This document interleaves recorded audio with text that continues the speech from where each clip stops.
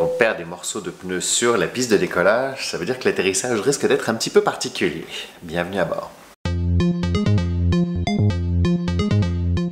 Bonjour, bienvenue ou re-bienvenue si vous êtes déjà abonné. Mon nom est Victor, je suis chef de cabine pour une compagnie aérienne et toutes les semaines, je vous donne un petit peu des informations sur comment se passe le milieu du transport aérien et comment faire en sorte que vous puissiez voyager euh, dans des meilleures conditions.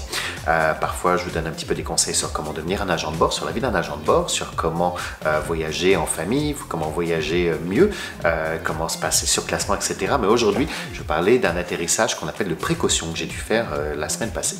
Juste avant de commencer ma story time, je voulais vous remercier si vous êtes déjà abonné sur ma chaîne. Le nombre d'abonnés euh, grandit chaque semaine. Et si vous n'êtes pas encore, vous avez juste appuyé sur le petit bouton subscribe qui se trouve juste en bas par ici. Alors la semaine passée, c'était euh, un aller-retour journée, euh, ce qu'on appelle un turn. Donc c'est un vol d'aller de 5h30 et le vol retour était de 6h. Ça fait quand même une longue journée. ça fait déjà 11h30 à bord, plus une heure avant le décollage au sol, plus une heure et quart entre les deux vols plus 30 minutes après l'arrivée. Donc ça devient une très très longue journée. Le vol aller s'est très bien passé, il n'y a pas eu de problème. là où ça s'est compliqué, c'est le vol retour. Donc on a décollé, tout semblait normal, il n'y a pas eu de problème. J'ai commencer, comme d'habitude, à aller euh, me présenter à chacun de mes passagers en classe affaires. Euh, en tant que chef de cabine, c'est ce que je dois faire. Donc, euh, je me présente, j'explique un petit peu quel est le service qu'ils vont recevoir, donc quand est-ce qu'on va servir le repas, la durée du vol et les éventuelles turbulences. Alors, il y avait des, légères turbulences qui étaient prévues une heure après le décollage. Et j'ai un passager francophone, c'est rare d'en avoir, mais j'en avais pas mal sur ce vol-là. Un passager qui me dit que lui, il est un voyageur très, très nerveux, mais il a fait le stage d'Air France qui a coûté, je pense qu'il m'a dit 2700 euros euh, pour vaincre sa peur en avion. Euh, donc euh, c'est un stage où vous passez du temps avec des pilotes, avec des ingénieurs, vous allez dans des simulateurs, etc. Donc c'est très très complet et maintenant il peut voler. Il a toujours une petite peur, mais sa phobie de monter dans l'avion est passée, maintenant il peut monter sans problème. Alors, bon, bah, je lui explique que les turbulences ne devraient pas être très très compliquées, mais s'il y a quoi que ce soit, il n'hésite pas, il appuie sur le bouton d'appel et on va venir s'occuper de lui. On commence le service de repas et là je reçois un appel du cockpit me demandant d'aller rejoindre le pilote parce qu'il veut me parler. Et là il m'explique qu'après notre décollage, euh, il y a des débris de pneus qui ont été trouvés sur la piste. Vous savez, un petit peu comme quand vous êtes sur l'autoroute et vous voyez des morceaux de pneus sur le côté de la route, ben, c'est un peu le même genre de choses. Et on sait qu'ils nous appartiennent puisque euh, on est les derniers à avoir atterri et c'est pas un gros aéroport, on est les, derniers à avoir redécollé. Donc ça vient absolument de nous. Euh, bon, ok, ça va être une journée un petit peu intéressante. donc j'ai dit, écoute, euh, on finit le service, euh, on a encore plus de 5 heures de vol. Euh, si tu veux, je viens de voir quand on a fini le service et puis on va voir un petit peu comment est-ce qu'on va annoncer ça aux passagers, aux autres agents de bord et quelles sont les procédures qu'on va suivre. Donc je retourne en cabine, pendant, pendant ce temps-là ça processe pas mal dans ma tête, je revois un petit peu tout ce qui est les différents scénarios euh, qui peuvent arriver. Et euh, une fois que le service est terminé, je vais le voir et on commence à parler un peu plus sérieusement. Donc il m'explique comment ça va se passer. Moi ce que je lui dis, j'aimerais que l'annonce qui soit faite, on la fasse euh, le plus tard possible. Ça sert à rien de stresser les gens 5 heures à l'avance alors qu'on peut leur donner un stress seulement 30 minutes avant l'atterrissage. Donc on décide ensemble de faire l'annonce jusqu'à on va commencer notre descente, donc 30 minutes avant l'atterrissage. Et on décide d'écrire le message ensemble, de manière à ce qu'on soit vraiment sur la même page.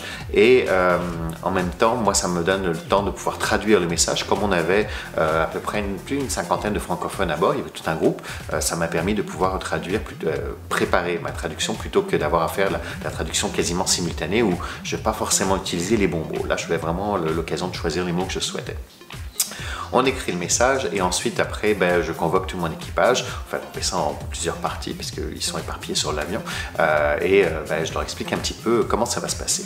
Et c'est là où moi, en tant que chef de cabine, je dois euh, vraiment m'assurer que mon équipage se sente à l'aise avec la situation. évidemment, on a tous un niveau de stress qui va être plus ou moins élevé, mais je veux qu'ils soient confortables avec les procédures. donc la procédure d'atterrissage qu'on appelle de précaution.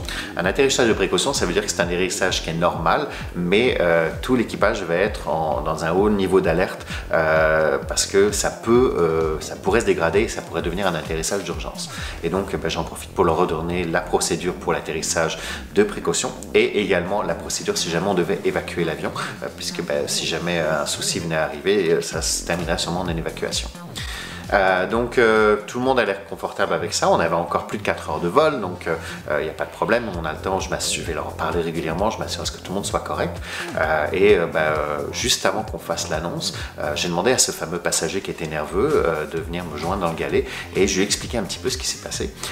donc une fois de plus, j'ai bien choisi mes mots et j'ai montré cette photo que vous voyez maintenant à l'écran, qui est une photo de nos instruments sur, le, cockpit où on voit nos trains d'atterrissage. Et ben, on peut remarquer que la pression à l'intérieur des trains d'atterrissage est normale, elle est dans l'échelle dans qui est autorisée euh, et il n'y a pas de différence de température. Donc euh, d'après nos instruments, tous nos pneus sont en bon état.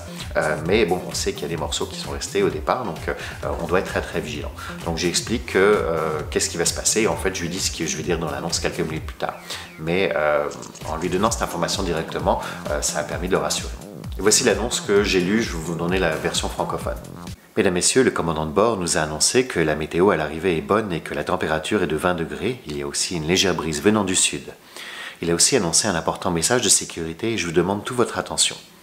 Juste après notre départ, nous avons reçu un message nous indiquant que quelques pièces de caoutchouc venant des pneus ont été trouvées sur la piste.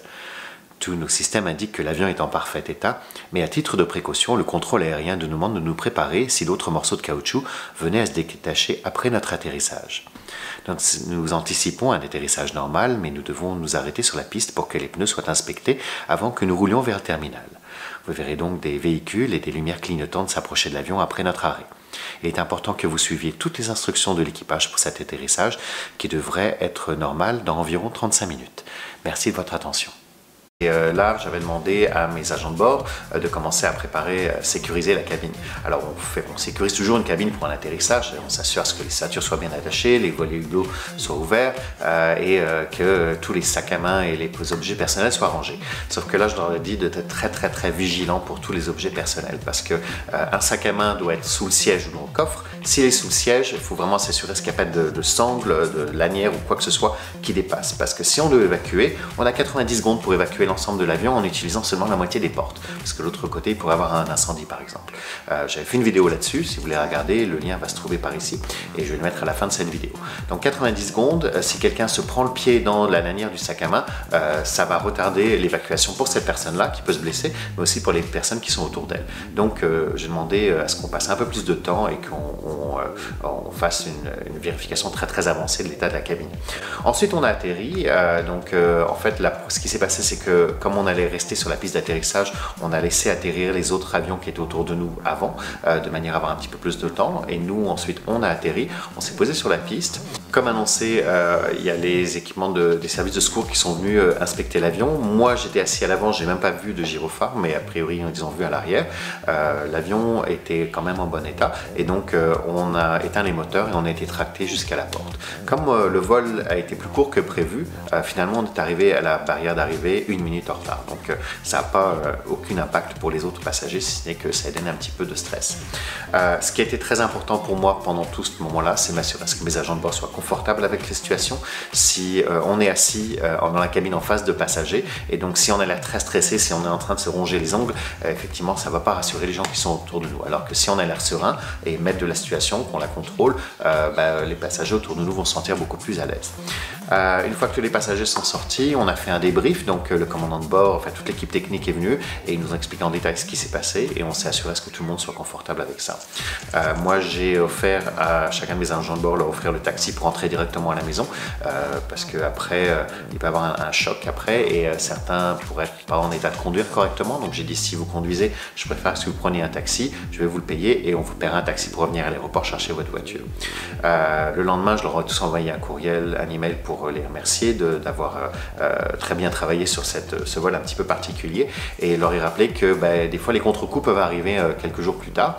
Donc il y a des services d'assistance par téléphone qui leur sont proposés. Euh, ils peuvent aussi euh, parler avec leur, leur manager s'ils ont des, préoccupations pour qu'on puisse leur donner le support dont ils ont besoin. Donc voilà, c'est une, opération irrégulière.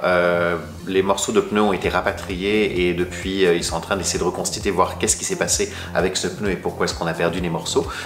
mais il faut toujours être très très vigilant. on est formé en tant qu'agent de bord sur ce genre de choses. Donc on a tous mes agents de bord connaissaient la procédure par cœur. J'avais pas besoin, même si je l'avais dans les mains prête à leur montrer, non c'est bon, je correct, je la connais. Euh, donc euh, notre formation est très très importante et ça, une fois de plus, comme je disais la semaine passée, euh, notre boulot c'est pas juste de servir du thé, du café à manger, c'est beaucoup plus que ça. Sauf que le thé et le café c'est ce que vous venez faire en permanence, mais il y, a tout un travail qui est fait en arrière et une formation qui est assez complète. Voilà, j'espère que cette vidéo vous a plu. C'était une petite story time, mais je pensais que ça serait intéressant de partager ça avec vous. Si vous avez des questions, n'hésitez pas à les poser dans les commentaires. Si vous aimez la vidéo, vous pouvez mettre un pouce vers le haut. et une fois de plus, si vous n'êtes pas abonné, ben, je vous invite à le faire. C'est très facile, appuyez sur le bouton rouge. Et nous, on se retrouve la semaine prochaine. Salut